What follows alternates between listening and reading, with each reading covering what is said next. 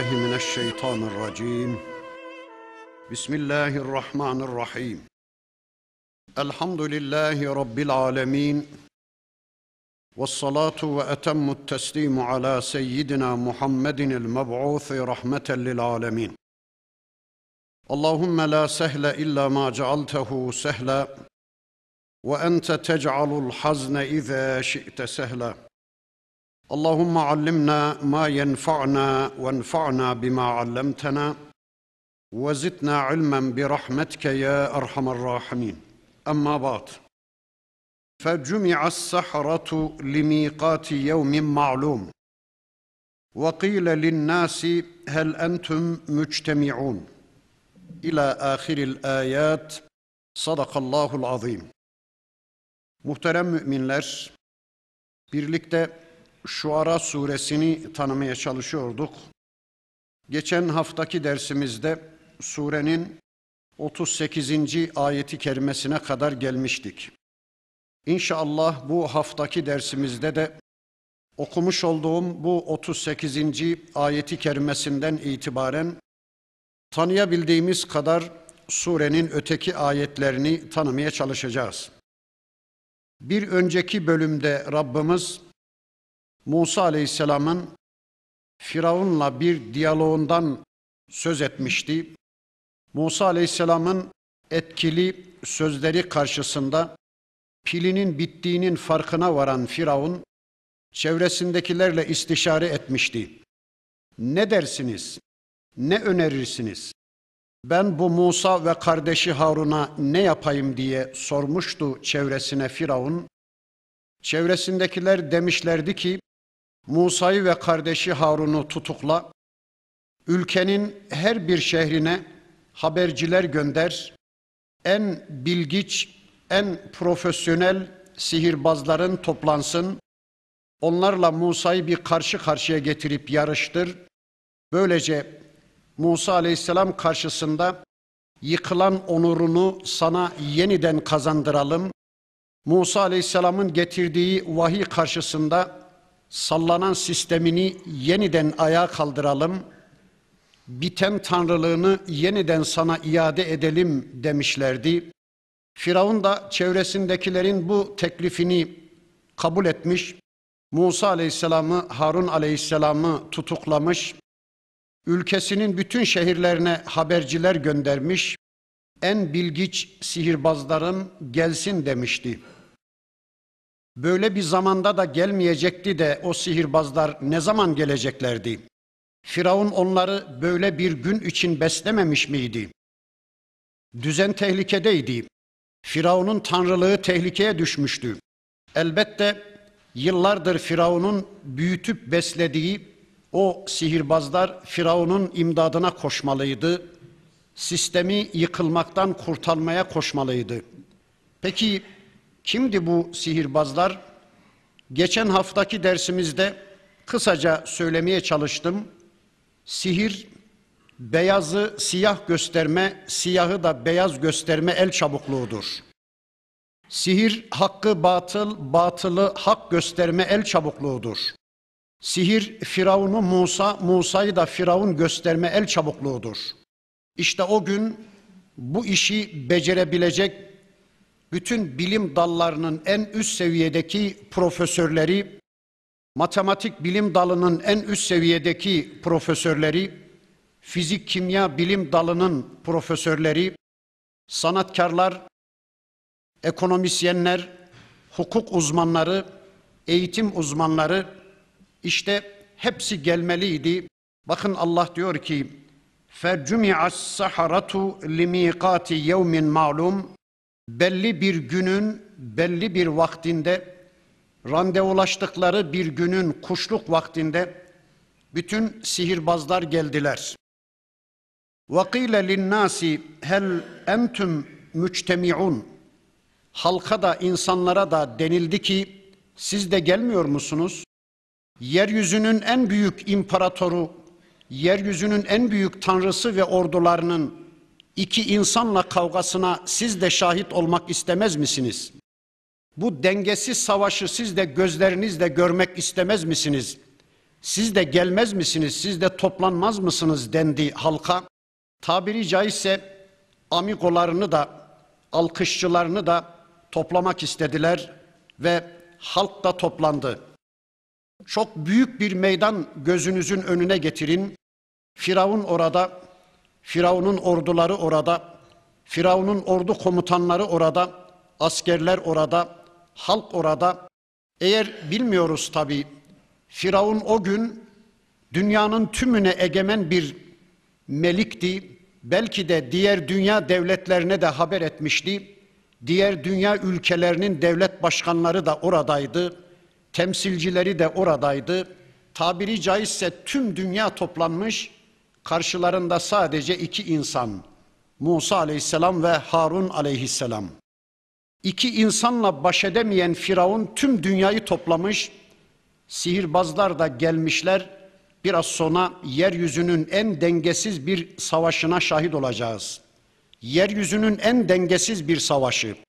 Materyalist bir bakış açısıyla bakıldığınız zaman tüm dünyanın karşısında sadece iki tane insan ama iman açısından, tevhid açısından baktığınız zaman Allah desteğinde, arkasında Allah olan iki insan bir dünya değil on dünya çıksa karşılarına ne yazar? O açıdan baktığınız zaman yine çok dengesiz bir savaşa biraz sonra hep beraber şahit olacağız. Halk dedi ki: "Leallena nettebi'u's seharate in kanu humul galibin." Umarız ki bugün sihirbazlar Musa'ya galip gelir, bizler de sihirbazların peşi sıra gitmeyi sürdürürüz. Umarız ki bugün sihirbazlar galip gelir dedi halk, herkes toplandı. Zaten o ana kadar insanlar hep sihirbazları dinliyorlardı, sihirbazları okuyorlardı. Sihirbazların peşi sıra gidiyordu. Firavun ülkeyi o bilim adamları yani sihirbazlar sayesinde yönetiyordu, onlarla yönetiyordu. Din sihirbazları dini Firavun'un istediği biçimde dizayn ediyordu. Eğitim sihirbazları eğitimi Firavun'un istediği biçimde düzenliyordu. Hukuk sihirbazları hukuku Firavun'un istediği biçimde düzenliyordu. Oyun eğlence sihirbazları o sahayı Firavun'un istediği biçimde düzenliyordu Kılık kıyafet sihirbazları, moda sihirbazları modayı, kılık kıyafeti yine Firavun'un istediği biçimde düzenliyordu. Böylece Firavun o sihirbazlar, o bilim adamları sayesinde ülkeyi yönetiyordu. فَلَمَّا جَاءَ السَّحَرَةُ قَالُوا لِفِرْعَوْنَ Sihirbazlar gelince Firavun'a dediler ki, e inne lena le ecran in kunna nahnul galibin. Ey Firavun, şimdi biz Musa'ya karşı galip gelirsek, Musa'yı yenersek, Musa aleyhisselam karşısında yıkılan senin onurunu sana yeniden iade edebilirsek, Musa aleyhisselamın getirdiği vahiy karşısında yıkılmak üzere olan sistemini yıkılmaktan kurtarırsak, bize bir ücret var değil mi? Bize bir ecir var değil mi? Bize bir cukka var değil mi? Bakın adamların derdi cukka. Cukkasız adım bile atmazlar menfaatleri söz konusu olmadıkça bir adım bile atmaz o insanlar. Bakın Musa Aleyhisselam'la yarışmaya başlamadan önce Firavun'dan bir cukka koparmak istediler. Dediler ki ey Firavun şimdi biz Musa'ya karşı galip gelirsek bize bir ücret var değil mi? Firavun dedi ki kale naam evet dedi. Ve innekum izen leminel mukarrabin. Siz yeter ki Musa'yı bir yenin, siz yeter ki benim yıkılmak üzere olan sistemimi bir yıkılmaktan kurtarın. Siz yeter ki beni insanların gözünde bir aklayın.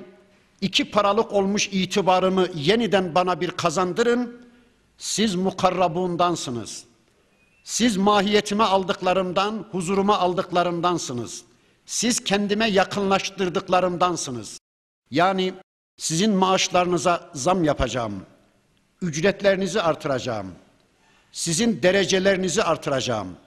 Bütün banka kredilerini size hortumlayacağım. Eğer siz müdürseniz genel müdür yapacağım. Eğer siz vekilseniz bakan yapacağım. Eğer doçentseniz prof yapacağım.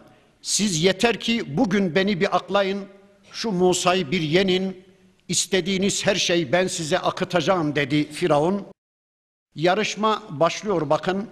Kale lehum Musa Musa aleyhisselam o sihirbazlara dedi ki elku ma entum mulkun. Haydi şu atacağınız şeyler neyse atın ortaya bakalım. Heybenizde torbanızda ne varsa atın ortaya. Zaten siz atıcılarsınız. Siz desteksiz atanlarsınız. Hadi bakalım kafanızda ne varsa, ne tür bilimleriniz varsa, ne tür beşeri sistemleriniz varsa, tarih felsefenizi mi, biyolojinizi mi, kimyanızı mı, fiziğinizi mi, matematiğinizi mi, yoksa şu medyalarınızı, şu bilimlerinizi neyse atın ortaya bakalım dedi. فَأَلْقَوْا حِبَالَهُمْ وَعَصِيَّهُمْ وَقَالُوا بِعِزَّةِ فِرْعَوْنَ inna lenahnul galibun. Sihirbazlar ellerindeki iplerini, saplarını ortaya attılar. Kafalarındaki bütün bilimlerini, bilim dallarını ortaya attılar. وَقَالُوا بِعِزَّةِ firavun Dediler ki Firavun izzetine, Firavun adına, Firavun namına, Firavun şerefine deyip ellerindeki, torbalarındaki, heybelerindeki, kafalarındaki bütün bilimlerini, bütün felsefelerini ortaya attılar. Bir Müslüman bir işe başlarken Bismillah der ya Allah adına, Allah namına der ya onların tanrısı da Firavun olduğu için bakın diyorlar ki bi izzeti Firavun. Firavun'un izzetine, Firavun'un şerefine, Firavun adına diye bütün bilim dallarını ortaya attılar. Dediler ki inna lenahnul galibun. Umarız ki bugün biz galip geleceğiz. Bugün kesinlikle biz galip geleceğiz dediler. Hem kendilerine hem Firavun'a hem de halka bir moral vermek istediler ve bütün bilim dallarını ortaya attılar. Sanatlarını, teknolojilerini, ekonomi anlayışlarını, bilimlerini, filmlerini, her şeylerini ortaya attılar. Öyle müthiş bir gündem oluşturdular ki insanlar büyülendi, İnsanlar onların gündeminin etkisi altında kaldı. Herkes onların gündemine yöneldi. Herkes onların gündeminin etkisi altında kaldı. Yaşa, var ol diye meydan inlemeye, çınlamaya başladı. Allah aşkına söyleyin. Bu gürültünün arasında, bu patırtının arasında iki tane insan ne yapabilecekti? Seslerini nasıl duyurabileceklerdi? Musa aleyhisselam, Harun aleyhisselam medyaları yoktu. Radyoları yoktu, televizyonları yoktu, basın yayın organları yoktu. Peki nasıl gündeme girebileceklerdi? Nasıl seslerini duyurabileceklerdi? Ama ne gam onların arkasında Allah vardı. Onların desteğinde Allah vardı. O iki insanın elinde Allah ayetleri vardı. Bakın Allah diyor ki: "Feelqa Musa asahu fe izâ hiye telqafu ma ye'fikun." Bu manzara karşısında Musa aleyhisselam elindeki asasını yere bırakıverdi. Bir de ne görsünler? Meydanda onların ortaya attıkları tüm sihirleri, tüm fikirleri, tüm bilimleri, tüm teknolojileri birdenbire asa tarafından yalanıp yutulu verdi. Meydan tertemizdi. Bütün insanlar Musa Aleyhisselam'a yönelmişti. Bütün insanlar asaya yönelmişti. Asa gündemi işgal etmişti. Asa onların tüm bilimlerini yalayıp yutuvermişti. Materyalizm iflas etti. Determinizm iflas etti. Temeli Allahsızlığa dayanan tüm bilimler, tüm felsefeler, tüm beşeri sistemler iflas etti. Asa gündeme hakim oldu. Bu manzarayı gören sihirbazlar bakın Allah diyor ki فَاُلْقِيَ السَّحَرَةُ سَاجِد۪ينَ Bu manzarayı gören sihirbazlar Musa Aleyhisselam'ın ortaya koyduğu şeyin kendilerininkinden farklı olduğunu hemen anlayıverdi sihirbazlar. Musa Aleyhisselam'ın ortaya koyduğu şeyin bir Allah ayeti olduğunu, bir vahiy olduğunu anlayıverdiler. Hemen secdeye kapandılar. قَالُوا آمَنَّا بِرَبِّ الْعَالَمِينَ Dediler ki biz alemlerin Rabbına iman ettik. Bir yanlış anlaşılmaya mahal bırakmamak için halk yanlış anlamasın diye bir açıklayıcı cümle de kurdular. Dediler ki Rabbi Musa ve Harun biz Musa'nın ve Harun'un Rabbi olan Allah'a alemlerin Rabbına iman ettik dediler. Hani Firavun da Rablık iddiasındaydı ya yanlış anlaşılmasın diye biz Firavun'a değil alemlerin Rabbi olan Allah'a yani Musa'nın ve Harun'un Rabbi olan Allah'a iman ettik dediler ve hemen o bilim adamları, o sihirbazlar secdeye kapandılar ve iman ettiler. Allahu Ekber. Bir saat öncesine kadar Firavun'a kulluk eden, Firavun'un çanağından affedersiniz yal yemeye çalışan, Firavun'un attığı kemiklere hasret bir tavır sergileyen o insanlar bir saat sonra kuşluk vakti Musa Aleyhisselam'ın safına geçiverdiler, iman ediverdiler. Firavun deliye döndü. En güvendiği insanlar, ülkenin en aydın insanları, en okumuş insanları, en bilgin, en bilge insanları bir anda Musa Aleyhisselam'ın safına geçince halkın da onları izleyip Musa Aleyhisselam'ın safına geçiverip kendisinin sap gibi ortada kalacağı endişesini taşıyan Firavun deliye döndü. Ama ben burada bir açıklama cümlesi kurmak istiyorum. Bakın Musa Aleyhisselam sihirbazları onların metoduyla yenmedi. Musa Aleyhisselam sihirbazları sihir metoduyla yenmedi. Eğer Musa Aleyhisselam o sihirbazları onların metoduyla yani sihir metoduyla yenseydi belki sihirbazlar Musa Aleyhisselam'ı gözlerinde çok büyüteceklerdi. Yani gerçekten bu Musa müthiş bir adam. Bizim metotlarımızı bizden çok daha iyi bildiği için bizi yendi diyeceklerdi. Musa Aleyhisselam'ı gözlerinde devleştireceklerdi ama secdeye varmayacaklardı. Allah'a alemlerin Rabbına inandık demeyeceklerdi. Çünkü sihir imanın konusu değildi. Vahiy imanın konusuydu. Yani sihirbazlar anladılar ki Musa Aleyhisselam'ın ortaya koyduğu ayet kendi sihirlerinden farklıydı. Musa Aleyhisselam kendileri gibi bir bilim adamı, bir sihir adamı değildi. O Allah desteğindeydi. Onun ortaya koyduğu şey bir Allah mucizesi, bir Allah ayetiydi. Bunun farkına varan sihirbazlar hemen secdeye kapandılar. Allah'a hemen iman ettiler. Bir Allah ayetiyle karşı karşıya geldiklerinin farkına vardılar. Allah'a iman ettiler. Peki ben bunu ne için söyledim? Bunu şunun için söyledim. Kimi tefsir kitaplarında şöyle bir bilgiyi görmüşsünüzdür.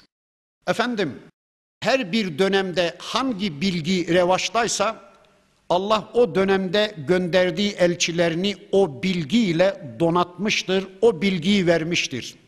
Mesela Musa Aleyhisselam döneminde sihir revaçtaydı. Dolayısıyla Allah Musa Aleyhisselam'a sihir bilgisini öğretmiştir. İsa Aleyhisselam döneminde tıp zirve noktadaydı. Allah ölüleri diriltecek kadar İsa Aleyhisselam'a tıp bilgisi vermiştir. Muhammed Aleyhisselam döneminde edebiyat zirvedeydi. İşte Allah son elçisine de edebi cümleleri ihtiva eden, edebi güzelliği ihtiva eden bir Kur'an vermiştir demeye çalışıyorlar. Haşa, haşa. Şöyle mi demek istiyorlar? Musa Aleyhisselam bir sihirbazdı. İsa Aleyhisselam bir doktordu. Muhammed Aleyhisselam da bir edebiyatçıydı. Bunu mu demek istiyorlar? Hayır, hayır, hayır. Musa Aleyhisselam bir sihirbaz değildi. O bir peygamberdi. İsa Aleyhisselam bir tabip değildi. O bir peygamberdi. Muhammed Aleyhisselam bir edebiyatçı değil. O bir peygamberdi. İşte bakın Bakara suresinde Yahudiler İbrahim Aleyhisselam'a sihirbaz dediler. Biliyorsunuz ayet-i kerimeyi. Öyle değil. İbrahim Aleyhisselam bir sihirbaz değildi. Musa Aleyhisselam da sihirbaz değildi. Musa Aleyhisselam onları onların metoduyla yenmedi. Sihir metoduyla yenmedi. Vahiy ile yendi, Allah ayetiyle yendi, asayla yendi. Dünkü Musa Aleyhisselam'ın elindeki asa bugün bizim elimizdeki Kur'an'dır.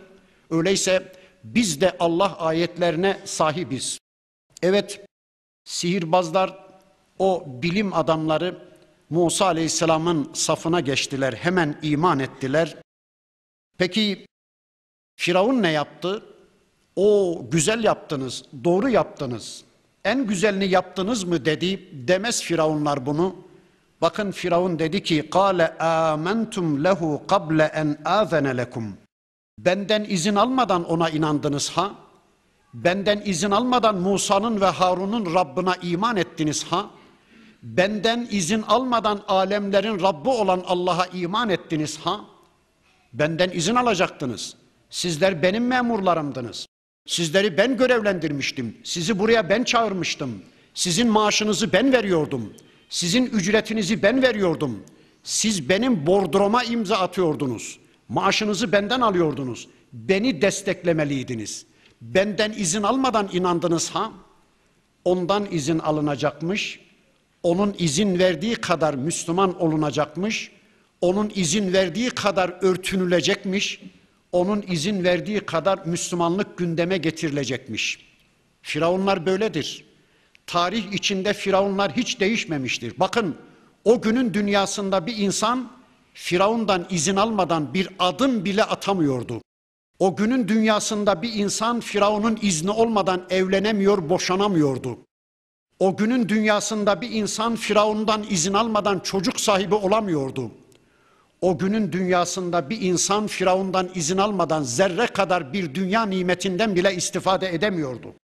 Firavun insanların düşünce sistemine ipotekler koymuştu. İradelerine ipotekler koymuştu. Benim istediğim gibi düşünmek zorundasınız. Benim istediğim gibi inanmak zorundasınız. Benim istediğim gibi yaşamak zorundasınız. Benim istediğim gibi giyinmek, soyunmak zorundasınız. Benim sevdiklerimi sevmek, benim düşmanlarımı düşman bilmek zorundasınız. Benim istediğim gibi bir hayat yaşamak zorundasınız diyordu. İnsanların iradelerine ipotekler koyuyordu. Bugün de öyle. Bakın sahibimiz olan, Rabbimiz olan, havamızı, suyumuzu, güneşimizi, oksijenimizi, elmamızı, armudumuzu yaratan, elimizi, ayağımızı, gözümüzü, kulağımızı kendisine borçlu olduğumuz, her şeyimizi kendisine borçlu olduğumuz sahibimiz olan Allah bile bizim düşüncelerimize ipotek koymuyor. Bizim iradelerimize ipotek koymuyor. Canınız isterse yaratan ben, besleyen ben, öldüren ben, benim istediğim gibi inanmak zorundasınız. Müslüman olmak zorundasınız. Canınız isterse demiyor da ne diyor ya? Femen şa'e fel yu'min ve men şa'e fel yekfur. Dileyen iman eder, dileyen inkar eder. Sonucuna kendiniz katlanmak kaydı şartıyla dileyen iman etsin, dileyen inkar etsin diyor. Gördünüz mü? Allah bile kullarına bu kadar özgürlük tanırken, kullarının iradelerine saygılı olurken Rabbimiz ama insanlardan kimileri var ki sanki kendilerini binane zannediyorlar. Bizim istediğimiz gibi, bizim istediğimiz gibi, bizim istediğimiz gibi. Siz kimsiniz ya? Siz kimsiniz ya? Neden bizim iradelerimize ipotek koyuyorsunuz? Neden kendi inancınızı bize dayatmaya çalışıyorsunuz? İstediğiniz gibi bir hayat yaşayın ama ben Müslümanca bir hayat yaşamak istiyorsam bana müdahale etmeyin. Şimdi de öyle değil mi? Mesela bir öğretmen kapıyı kapatıp da talebelerle karşı karşıya kaldığı bir ortamda dersinin müfredat programını biraz aşıp da talebelere gerçek İslam'ı anlatmaya başlasın. Gel bakalım. Seni oraya biz çıkarmıştık. Sen bizim memurumuzdun. Sen bizim bordromuza imza atıyordun. Bizden izin almadan bunları konuştun ha? Ya da üniversitede üç beş tane kız çocuğu başını örtü verseler Allah için gel bakalım. Sen bizim sıralarımızda oturuyordun. Sen bizim okulumuzda okuyordun. Bizim bizden izin almadan örtündün ha? Tağutlar hiç değişmiyor. Firavunlar hiç değişmiyor. Bakın o bilim adamlarına diyor ki Firavun benden izin almadan inandınız ha? Ben müsaade etmeden alemlerin Rabbına, Musa'nın ve Harun'un Rabbına Allah'a iman ettiniz ha? İnnehu lekebirukumul-lezî allemakumus sihra. Demek ki diyor, sizin üstadınız Musa'ymış. Sizin sihir üstadınız Musa'ymış. Daha önce size bu sihri öğreten Musa'ymış. En büyük sihirbaz Musa'ymış. Siz bu sihri ondan öğrenmişsiniz ve önceden anlaşmışsınız. Halkın huzurunda bana bir komplo hazırlamışsınız. Beni bitirmek için önceden hazırlık yapmışsınız. Şuna bakın. Yahu yıllar yılı o sihirbazlar senin kulundu, senin kölendi. Musa daha dün çıkmıştı aleyhisselam. Bakın diyor ki sevfe ta'lemun Yakında bileceksiniz ey sihirbazlar, ey Müslümanlar, yakında bileceksiniz dünyanın kaç bucak olduğunu ben yakında size göstereceğim. Ne yapacakmış? İki kere yeminle diyor ki bakın لَاُقَطَّعَنَّ اَيْدِيَكُمْ وَاَرْجُلَكُمْ مِنْ خِلَافٍ وَلَاُصَلِّبَنَّكُمْ اَجْمَعِينَ Çok yakında ben çaprazlama kollarınızı ve bacaklarınızı keseceğim. Sağ kolunuzu, sol bacağınızı, sol kolunuzu, sağ bacağınızı, çaprazlama kollarınızı ve bacaklarınızı keseceğim ve yirmilik, otuzluk çivilerle sizi hurma ağaçlarına çakacağım, çivileyeceğim. Allah Allah. Firavunlardan bu beklenir. Firavunlardan başka bir şey beklenmez ki asmak, kesmek, derisini yüzmek, kodese tıkmak, öldürmek. Bakın çağdaş firavunların ağzından da hep ölüm sözü çıkıyor, ölüm tehdidi çıkıyor. Heybelerinde, torbalarında mücadele edecek fikir olmayınca asarlar, keserler, deri yüzerler, öldürürler, kodese tıkarlar. Firavunlardan bundan başkası beklenmez ki. Peki onun bu tehdidini duyan o Müslümanlar ne dediler, ne yaptılar? Yani bir saat öncesine kadar Firavun'un kulu kölesi olan o insanlar, o bilim adamları, o profesörler, o ülkenin en bilgin, en bilge insanları ne dediler? Bakın dediler ki, kalu la zahir, zararı yok ey Firavun, zararı yok. Zerre kadar senin tehditlerinden korkmuyoruz. Asacak mısın, kesecek misin, derimimizi yüzeceksin, bizi zindana kodese mi tıkacaksın? Hadi elinden ne geliyorsa yap ey Firavun. Senin tehditlerin bizim için vız gelir. Allah'a sonsuz şükürler olsun ki Allah son anda bize imanı yetiştirdi. Rabbimize hamdolsun ki son anda iki elçisini gönderdi bize. Ayetleriyle bizi tanıştırdı, elçileriyle bizi tanıştırdı. Değil mi ki biz kurtulduk son anda iman ettik? Artık ey Firavun tehditlerin vız gelir. Öldüreceksen öldür, asacaksan as. Elinden geleni ardına koyma. Bakın ifadeye. İnna ila rabbina munkalibun. E zaten biz Rabbimize dönüyoruz ey Firavun. Niye korkalım senden? Zaten ölmeyecek miyiz? Ha üç gün önce ölmüşüz, beş gün sonra ölmüşüz. Ne fark eder ey Firavun? Üstelik sen bizi öldürürsen, sen şu dediğin tehdidini gerçekleştirir de çaprazlama kollarımızı bacaklarımızı kesip bizi şehit edersen bize en büyük iyiliği yapmış olursun ey Firavun. Çünkü şehadet bizim için oğul balıdır. Sen bizi şehit edip Rabbimizin huzuruna gönderirsen biz şehit olarak gideceğiz ki bize en büyük ikramı, en büyük hediye yapmış olursun. Çünkü şehitlik bizim için oğul balıdır. En çok istediğimiz şey odur. Hadi ey Firavun ne yapacaksan yap, elinden geleni ardına koyma.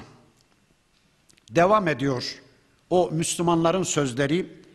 İnna natma'u en yaghfira lena rabbuna hatayana en kunna evvelel müminin. Ey Firavun Allah'ın şu iki elçisine ilk iman edenler biz olduğumuz için Rabbimizin bizim önceki kusurlarımızı, hatalarımızı bağışlamasını umarız. İfadenin güzelliğine bakın.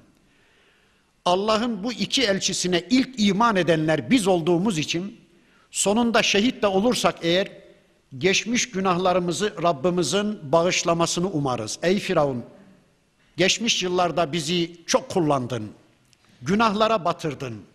Yıllardır biz insanlara seni tanrı olarak lanse ettik. Yeryüzünün en büyük tanrısı bizim tanrı dedik, Firavun dedik. Yeryüzünün en adil sistemi demokrasidir, laisizmdir. Yani Firavun'un sistemidir diye insanlara lanse etmeye çalıştık. Ey Firavun, yıllardır biz insanları sana kulluğa çağırdık. Senin tanrılığına çağırdık insanları. Çok günahlar işlettin bize. Çok kötü kullandın. Çok kötü yerde kullandın bizi. Yeter artık. Bitti artık sana kulluğumuz. Hadi öldüreceksen öldür. Bizi şehit et de Rabbimiz önceki işlediğimiz günahlarımızı bağışlayıversin. Biz senden zerre kadar korkmuyoruz, çekinmiyoruz dediler. Ya bu nasıl bir şey böyle? Bir saat içinde bu insanlar nasıl değiştiler? Bu gerçekleri nasıl bildiler de söyleyebildiler? İman insanı işte böyle değiştirir. Bu cümleyi ağır ağır bir daha söyleyeyim. İman insanı işte böyle değiştirir. Peygamber Efendimizin hayatında İslam tarihinde de var bu tür olaylar. Birkaç tanesini inşallah aklıma gelenleri söyleyeyim. Allah'ın Resulüne içkinin kesin yasak edildiği konusundaki ayetler gelince Peygamber Efendimiz sahabe-i kiram efendilerimizden 3-5 tanesini Medine sokaklarına yolladı. Nida edin, ilan edin ki içki yasak kılındı, herkese duyurun diye. Peygamberimizin münadileri Medine sokaklarında bağırmaya başladılar. Ey Müslümanlar, duyduk duymadık demeyin. Bugün sevgili peygamberimize ayetler geldi. İçki kesinlikle haram kılındı. Bu söz adamın bir Müslümanın kulağına gittiği anda alkolik adam o anda kadehi ağzına götürmek üzereyken elindeki kadehi fırlattı. Küpleri döktü Müslümanlar. Hatta kimi Müslümanlardan şu sözü söyleyenler oldu. Vallahi Peygamber Efendimin ağzından içkinin haram olduğuna dair ayeti duyduktan sonra eğer şu benim elim bir daha içki kadehine giderse ben bu eli bir uzuv olarak bünyemde taşımam, keser atarım. Allahu Ekber. Bir başka Müslüman mesela Hazreti Ali Efendimiz vallahi içkinin yasak edilişine muttali olduktan sonra benim bir tarlam olsa birkaç damla şarap düşse o tarlaya ben artık o tarlaya yönümü dönüp bakmam, o tarlaya asla tohum atmam, o tarladan asla ürün kaldırmam. Bakın imana ya. Alkolik insanlar bir anda Peygamber aleyhisselamın ağzından içkinin yasak kılındığına dair ayetleri duyar duymaz bir anda değişiverdiler. Yine Hazreti Ayşe annemiz anlatır. Tesettür ayetleri inince o gün sabaha kadar ensar kadınları evlerinde bez belek ne varsa kesmişler, biçmişler, dikmişler, örtünü vermişler ve sabah namazında diyor mescitte kara kargalar gibi mümine hanımların mescidi doldurduklarını gördüm diyor Ayşe annemiz. Bu nasıl bir iman böyle ya? Duyar duymaz akan sular duruyor, hemen vazgeçi veriyor. Demek ki iman insanı işte böyle değiştiriyor. Firavun tehdit etti Müslümanları. Çaprazlama bacaklarınızı ve kollarınızı keseceğim ve sizi yirmilik çivilerle hurma ağaçlarına çivileyeceğim, asacağım dedi. Acaba Firavun o tehdidini gerçekleştirip o Müslümanları şehit etti mi? Rabbimiz şu Ara suresinin bu bölümünde o konuyu bize anlatmıyor. Ya o 200 kadar bilim adamını önceden sihirbaz, şimdi Müslümanı gerçekten kollarını bacaklarını çaprazlama kesip şehit etti ya da bilmiyoruz Allahu alem Musa Aleyhisselam'la birlikte Mısır'ı terk ederken onlar da kurtuldu bilmiyoruz. Ama şu kadarını söyleyeyim. O olaydan sonra Firavun halkın iman etmesini engellemek için zulmünü artırdıkça artırdı İsrailoğullarına, Müslümanlara ve artık şunu söyleyelim. Firavunlar halka zulmünü artırmaya başladıkları andan itibaren kendi sonlarını yaklaştırıyor demektir. Kendi sonları yaklaşıyor demektir. Bu Allah'ın yeryüzünde değişmeyen bir yasasıdır. Firavunlar halkına zulmü artırdıkça sonlarını yaklaştırıyorlar demektir. İşte biraz sonra okuyacağız. Müslümanlar da o Firavunların zulmü karşısında sabırlarını, dirençlerini artırdıkça onlar için de artık kurtuluş günleri, zafer günleri adım adım yaklaşıyor demektir. İşte tüm yeryüzündeki devrilen firavunların hayatında da bunu şu anda görmekteyiz. Bakın Allah diyor ki ve evhayna ila Musa biz Musa'ya vahyettik en esri bi ibadi ey Musa kullarımı geceleyin alıp Mısır'ı terk et. Mısır'daki Müslümanları İsrailoğullarını bir gece yolculuğuna çıkar İnnekum muttebaun ama şunu bil ki ey Musa siz takip edileceksiniz. Firavun ordusuyla arkanıza düşecek. Kızıl denizde arkanızdan yetişecek.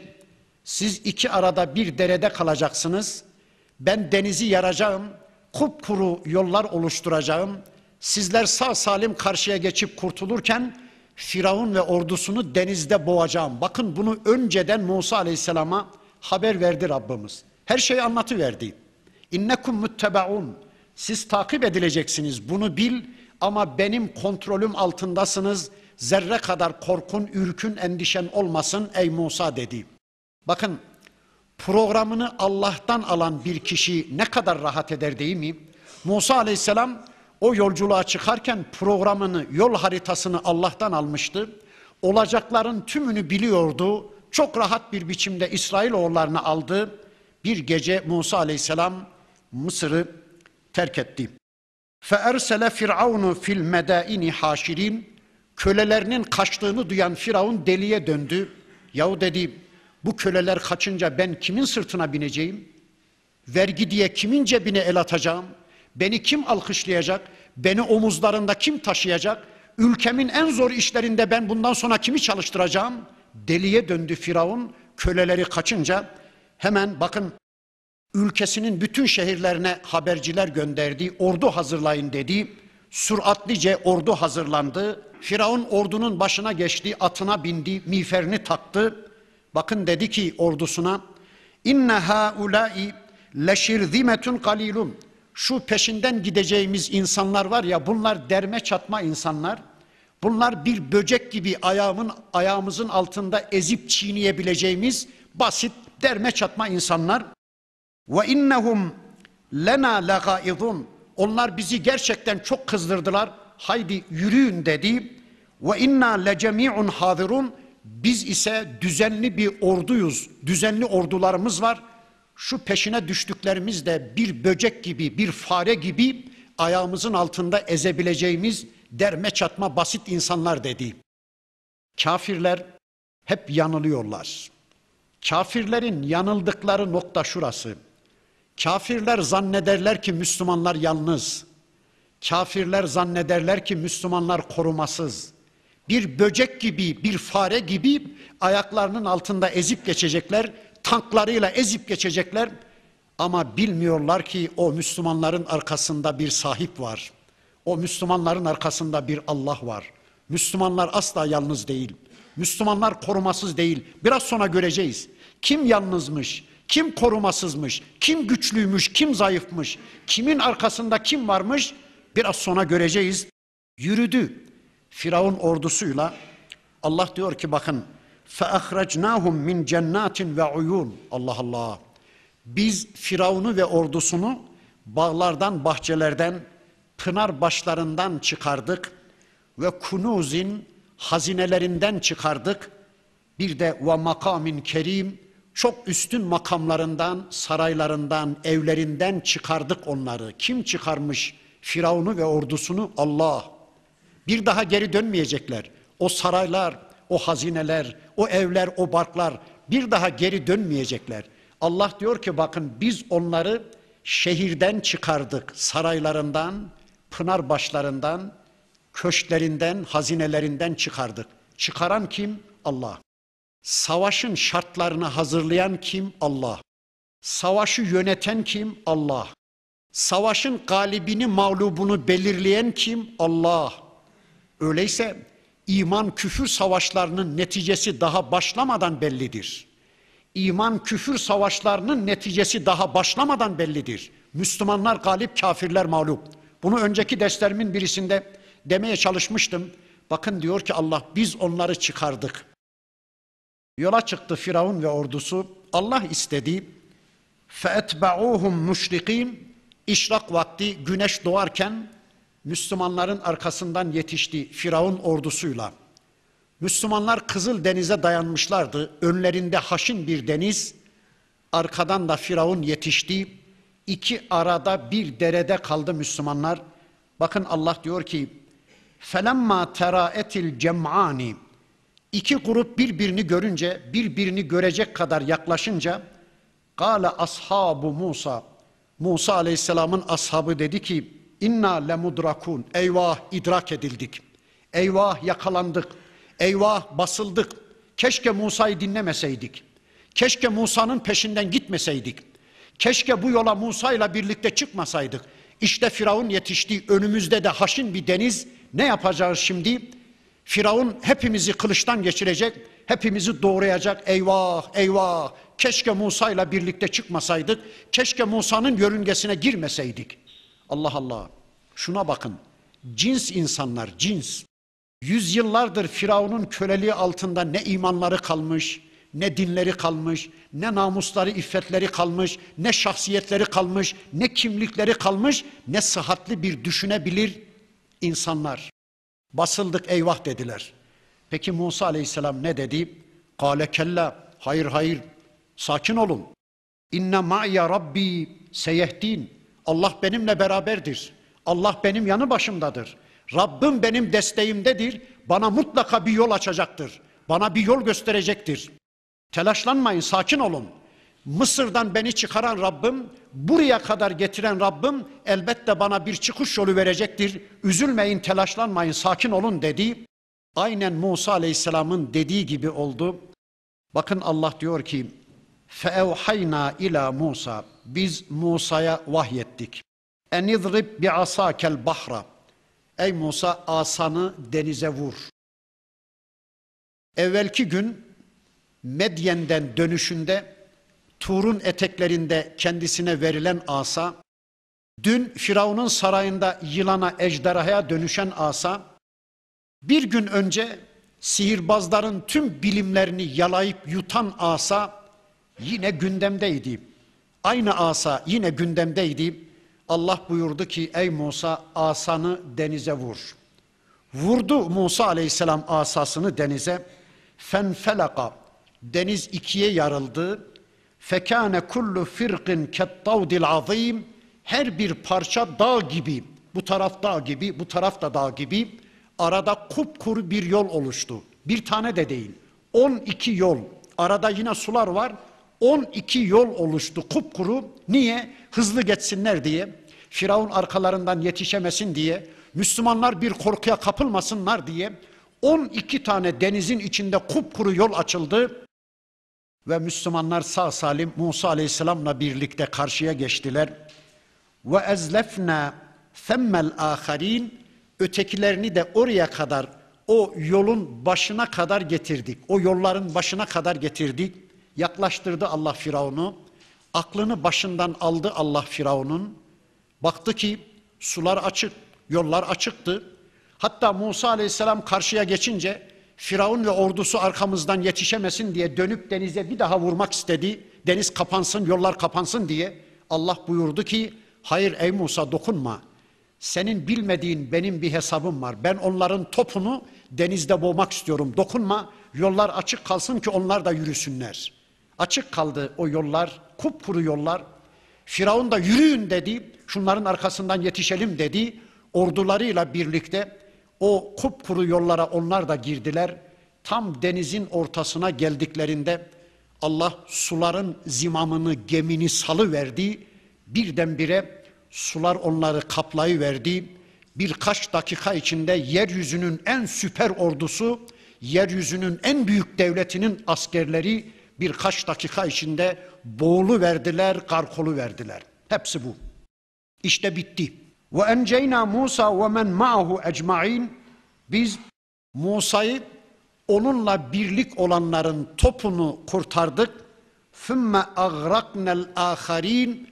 Ötekileri denizde kark verdik, denizde boğu verdik. İnne fî zâlike le ayeten. Bunda ayetler var, bu olayda ibretler var. Ama ve mâ kâne ekseruhum mu'minin insanlardan birçoğu bu gerçekleri duya duya yine de Allah'a iman etmiyorlar. Yine de Allah güvencesinde bir hayata yönelmek istemiyorlar. Bakın Allah diyor ki bunda ibretler var. Kıyamete kadar gelecek insanlara dersler var. Bir kere derslerden bir tanesini söyleyeyim. Allah'la savaşa tutuşanlar orduları ne olursa olsun, güçleri, kuvvetleri ne olursa olsun, devletleri, iktidarları ne olursa olsun hepsi de Allah'ın helak yasasını yudumlamak zorunda kalacaklar. Hepsi de geberip gitmek zorunda kalacaklar. Bakın dün Mekkeli bir avuç Müslümana bu ayetleriyle Allah şunları söylüyordu. Ey Mekkeliler ne oluyor size? Ey peygamberim ne oluyor size? Dört çapulcu var karşınızda. Kureyşli dört çapulcu var karşınızda. Onlardan mı korkuyorsunuz? Düzenli orduları bile yok. Ben yeryüzünün en büyük ordusunu birkaç dakika içinde nasıl yok etmişsem sizin karşınızdaki şu Mekke müşriklerini de bir anda yok etmeye kadirim. Ayağa kalkın doğrulun. Müslümanca bir hayata dayanın, direnin. Yolunuza devam edin. Ey peygamberim, ey Mekkeli bir avuç Müslüman. Dün onlara bunu söyleyen Rabbimiz bugün biz Müslümanlara 20. asrın Müslümanları da şunları söylüyor. Ey Müslümanlar! Amerika'dan, Japonya'dan, İngiltere'den, Yahudilik ve Hristiyanlık dünyadan korkuyor musunuz? Çekiniyor musunuz? Ne oluyor size? Dünyanın en süper orduları bile olsa benim karşımda nasıl dayanabilecekler? Benimle bugüne kadar kim baş edebilmiş? Siz Müslümanca yolunuza devam edin. Direnin, dayanın, sabredin Müslümanlığınıza, yolunuza devam edin. Birer birer ben o karşınızdaki kafirleri yok etmeye kadirim, yok edeceğim. Bu konuda zerre kadar bir endişeniz, zerre kadar bir şüpheniz olmasın. Bize de moralini veriyor Rabbimiz, gücünü, kuvvetini veriyor ve bizi gerçekten desteklediğini çok açık ve net bir biçimde bu ayetleriyle ortaya koyuyor. Bir de şunu söyleyeyim. Bunların içinde Samiriler var. Bunların içinde yamuklar var. Biraz sonra ileride buzağıya tapınacak değil mi? Samiri buzağı yapacak. Buzağı şeklinde bir put yapacak. Ona tapınacak. Ama değil mi ki o insanlar yamuk da olsalar, müşrik de olsalar peygamberle birlikte yola çıktılar ya. Peygamber kaptanlığına evet dediler ya. Peygamber yörüngesine girdiler ya. Yolu peygamberle birlikte yürümeye yöneldiler ya onun hatırına Allah hepsinin sağ salim karşıya geçmesini sağlayıverdi. Peki bu bize ne anlatır? Bu bize şunu anlatır. Çıkacağınız yola peygamber eşliğinde çıkarsanız, peygamberle birlik yola çıkarsanız, kesinlikle bilesiniz ki kurtulanlardan olursunuz. Ama peygamberi diskalifiye ederek bize Kur'an yeter. Kur'an'ın dışında bizim başka bir kaynağa ihtiyacımız yoktur. Din olarak Allah'ın gönderdiği kitap yeter. Bizim sünnete ihtiyacımız yoktur. Zaten peygamberin sünneti günümüze kadar gelirken bir yığın yalan yanlış karışmıştır. Sünnete itibar edilmez diye peygambersiz bir yola çıkmaya kalkarsanız peygamber rehberliğinde değil de bağımsız kendi salt akıllarınızla Kur'an'dan anladıklarınızla yola çıkmaya kalkarsanız boğulanlardan olma ihtimaliniz çok kuvvetlidir. Peygamberle birlikte bir yola çıkın ey Müslümanlar peygamber rehberliğinde, peygamber yörüngesinde, peygamberin kaptanlığında bir yola çıkmış olursanız, yani sünnet eşliğinde bir Müslümanlık yaşamaya çalışırsanız, peygamber örnekliğinde bir Müslümanlık ortaya koymaya çalışırsanız, kesinlikle bilesiniz ki, işte Samiri'nin bile kurtulduğu gibi, ötekilerinin bile sağ salim karşıya geçtiği gibi, siz de kurtulma şansını elde etmiş olursunuz. Bakın Allah buyurdu ki, inne fî zâlike le ayeten bu olayda ayetler var, ibretler var, dersler var. Ama ve ma kana ekseruhum mu'minin insanların birçoğu bu gücünü, kudretini tanıdığı halde Allah'a imana yanaşmıyorlar. Mümin olmak istemiyorlar. Peki onlar mümin olmayınca, insanlar Allah'a iman etmeyince Allah izzetinden, şerefinden, değerinden bir şeyler kaybeder mi? Hayır. Ve inne rabbeke lehuvel azizur rahim. Şunu kesinlikle bilesin ki ey peygamberim senin Rabbin azizdir. Senin Rabbin rahimdir. Yeryüzünde bir tek insan Allah'a iman etmese, yeryüzünde bir tek insan Allah'a kulluğa yönelmese bile yine de Allah değerinden bir şey kaybetmez, izzetinden bir şey kaybetmez. Burada bu olayla alakalı Önceki derslerimin birisinde daha önce anlattığım aklıma bir örnek geldi. O örneği de verip inşallah bu haftaki dersimize son verelim. Bir meydan düşünün. Binlerce, yüz binlerce insan o meydanda çalışıyor. Simsiyah bir bulut üzerlerine geliyor. Hava tahmin rapor istasyonundan bir görevli bir anonsta bulunuyor. Dikkat dikkat. Müthiş bir bulut geldi. Korkunç bir yağmur yağacak. Evler yıkılacak, yollar kaybolacak. Herkes başının çaresine baksın. Hava tahmin rapor istasyonundan böyle bir görevli anons ediyor, ilanda bulunuyor. Bu ilanı duyan yüz binlerce insan, o büyük meydanda çalışan yüz binlerce insan bir heyecana kapılıyor. Koşuşturan, bağıran, ağlayan, sızlayan, kaçan derken müthiş bir yağmur bardaktan boşanırcasına değil, nehirden, ırmaktan akarcasına bulutlardan yağmur inmeye başlıyor. Yollar yıkılıyor, evler yıkılıyor, binlerce ölü, belki yüzlerce yaralı. Ama üzülmeyin, korkmayın. Bunlar insanlar değil. Bunlar karıncalar. Karıncalar bir yemci dükkanının kenarında yem taşıyorlar. Binlerce, yüz binlerce karınca. Bir at arabası da yem almak için gelmiş, onların üzerine park etmiş. Yem almak için. Karıncalar dünyası. İşlerinden bir karınca demiş ki dikkat dikkat müthiş bir bulut geldi. Korkunç bir yağmur yağacak. Yollar yıkılacak, evler kaybolacak. Herkes başının çaresine baksın deyince binlerce, yüz binlerce karınca da bir heyecan derken at da üzerlerine affedersiniz işeyi vermiş. At da görevini yapıvermiş. Müthiş bir yağmur, müthiş bir fırtına. Yollar yıkılmış, evler kaybolmuş. Yüzlerce ölü, binlerce yaralı. Bunlar karıncalar. Bunlar karıncalar.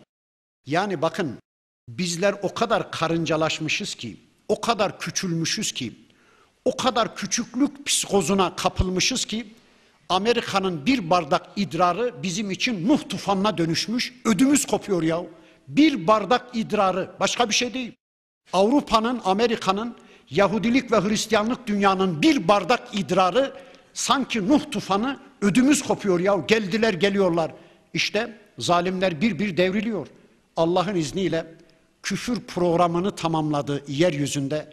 Bundan sonra gün İslam'ın günü olacak, gün Müslümanların günü olacak. Yeryüzünün her bir coğrafyasında Müslümanlar egemen olacak.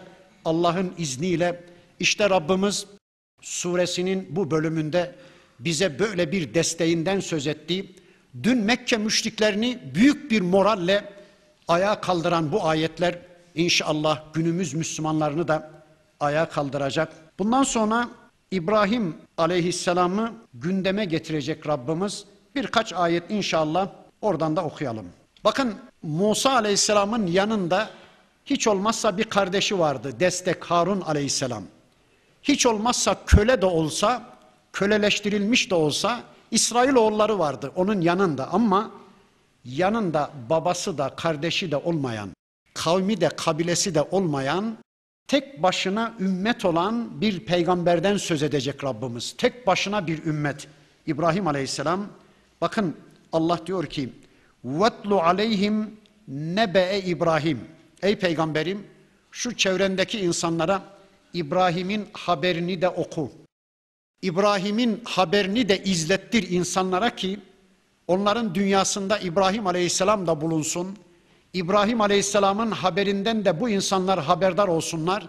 Belki de İbrahim Aleyhisselam'a benzerler.